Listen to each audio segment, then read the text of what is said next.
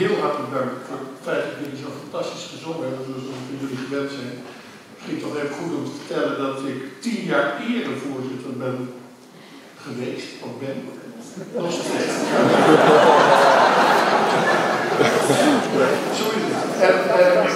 En, en, dat schept toch een hele bijzondere band met dit koor. Het gaat niet alleen om de zang, maar zeker ook om de vriendschap. Ik ben heel wat avonden bij jullie geweest. En daar, daar was de vriendschap voelbaar en vooral ook de humor die er altijd binnen het koor heerst. En eh, een bijzondere belevenis die, ik niet lang, die mij nog lang zal heugen, is dat ik toen ik 50 werd, ik ben al over de 50 moet u weten, maar toen ik 50 werd, toen eh, stond het hele koor als verrassing bij ons in de achtertuin. We zijn niet heel, we wonen niet heel groot, het restaurant is wel fantastische buurt. Maar zij stonden bij ons in de achtertuin en ik kwam in mijn ochtendjas naar beneden.